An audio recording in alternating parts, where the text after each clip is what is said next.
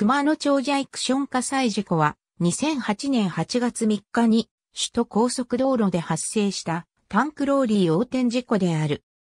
首都高速5号池袋線タンクローリー火災事故と故障される場合もある。2008年8月3日日曜日午前5時52分5号池袋線下りを走行中のタンクローリーが熊野町ジャイクション内の急な右カーブを曲がりきれずに横転、左側側壁に衝突した。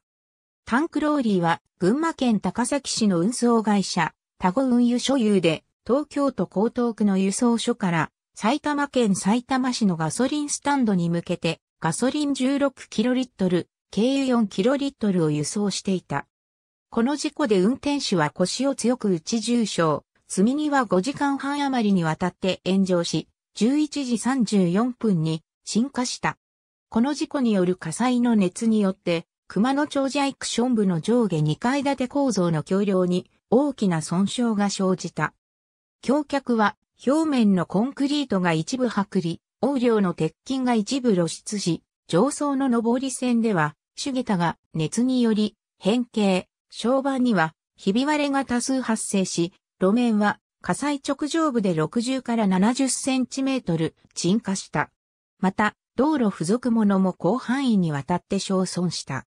また、近隣のマンションの外壁が火災の熱で焼けるという被害も発生し、単独車両による事故としては、国内史上最大規模の損壊事故となった。午後池袋線は、北池袋板橋ジャンクション間の上下線、中央環状線は、外回りが西新宿 JCT 板橋ジャンクション間、内回りは板橋ジャンクション西池袋間で通行止めになった。このため、一旦一般道へ降り、通行止め区間を迂回した後に再度首都高速を利用する場合は、再度利用する入口料金所で通行料金を徴収しない乗り継ぎ割引措置が取られた。8月4日に現地対策本部、本社対策本部、翌8月5日に本社災害復旧本部設置。事故車は8月6日に搬出された。8月7日に仮復旧に向け25トンのトラックを実装させ、再化試験を実施。これを受け、8月9日に午後池袋線の上下線が片側1車線通行で仮復旧した。後期3ヶ月を目途に24時間体制で橋脚の補強とにスパン40メートルにわたる橋桁の掛け替えが行われたが、後期短縮のため、数々の取り組みがなされた。仮設用トラスをリースし、通常小分けにして撤去する鋼桁を大ブロックで撤去、新しい鋼桁の仮設にも活用された。通常高架に4週間かかるところを1週間で固まる双強コンクリートを使用し、床板と高欄の一体思考でさらに短縮。通常は鋼桁の製作だけで1ヶ月かかるところを8月11日にメーカーと契約して31日に仮設されるなど、協力会社の尽力もあり、9月16日に中央環状新宿線外回りから5号線下りへのランプが復旧。5号線上りから中央環状新宿線内回りへのランプも9月18日に復旧し、暫定に車線で通行可能となり、事故発生から73日後の10月14日、正午頃に全面復旧した。2011年10月4日、東京地方裁判所は、運転手に対して業務上失火罪により、禁錮2年、執行猶予5年の判決を言い渡した。首都高速道路は、この事故の被害総額が、復旧工事費20億円と通行止めに伴う通行料金の逸失利益25億円の計45億円に上ることを表明し、後に運転手、タゴ運輸、出光興産、北部トランスポート株式会社に対して賠償請求を提訴した。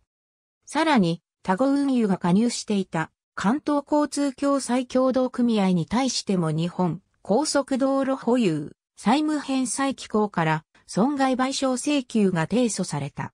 観光組に対する訴訟は、一審、二審とも石膏組の敗訴となり、7年分の利息を含めて11億8000万円が支払われた。一方首都高速道路が提訴した訴訟は、出光興産と北部トランスポートの責任は認めず、運転手とタゴ運輸のみに約32億8900万円の支払いを命じる判決が2016年7月14日に東京地方裁判所により出された。タゴ運輸については2011年12月に本社不動産を売却するなど経営悪化が露呈し2012年度に事業を停止していたが、賠償訴訟での敗訴判決が出たため、2016年8月4日付で、前橋地方裁判所高崎支部より破産開始決定を受けた。負債総額は賠償額に相当する約33億円。この事故による通行止めや一般道路渋滞の影響での経済的損失は、工学院大学とリバーベル株式会社の試算により推定180億円以上と言われている。なお、この事故の約半年後の2009年2月14日には、上り線のこのカーブで大型トレーラーの横転事故が起き、運転手が死亡している。ありがとうございます。